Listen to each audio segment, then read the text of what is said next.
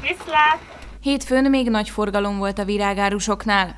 A március 4-én bejelentett szigorítások az ő nyitvatartásukat is korlátozták, de a Nemzetközi Nőnapra való tekintettel egynapos moratóriumot kaptak a bezárásra. A férfiak ezt ki is használták, hogy nőnap alkalmából meglephessék szeretteiket. Ezt a nagymamámnak, és ezt meg a tesómnak és anyukámnak. Többen úgy nyilatkoztak, egyértelmű, hogy ez a nap a nőkről szól. Igen, persze, természetesen. Értük vagyunk. Ez is egyfajta kifejezése a szeretetnek és a, a, a hálaadásnak úgy gondolom, akár a feleségünk felé, vagy bármilyen hozzátartozónk felé, szüleink felé, és úgy gondolom, hogy ha más nem, akkor ezen a napon mindenképpen ezt ki kell fejezni, de nem csak ezen a napon, minden napon úgy gondolom, de kell egy kicsit hangsúlyosan és valamilyen ajándékkal is. A kereskedő is nagyon fontosnak tartja ezt a napot, és elsősorban nem a bevétel miatt.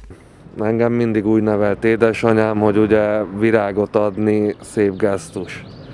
És én a barátnőmnek, mindenkinek a munkahelyen, ahol én dolgoztam, oda is vittem. A virágboltosok elmondásuk szerint normál esetben ebben az egy-másfél hétben közel két havi átlagbevételüket keresik meg.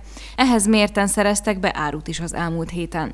A szigorítások értelmében azonban március 9-től nekik is zárva kell tartaniuk. Nyitva voltunk egész hétvégén, vagyis édesanyámék itt voltak. Máma bízunk benne, hogy ki fogjuk tudni árulni, de nem tudunk biztosat mondani, ugye. Ilyenkor a szerelem egyik jelképét, rózsát, a tavasz hírnökét, tulipánt vagy játszintot, vagy az egzotikus kinézetű orhidát vásárolják a legtöbben.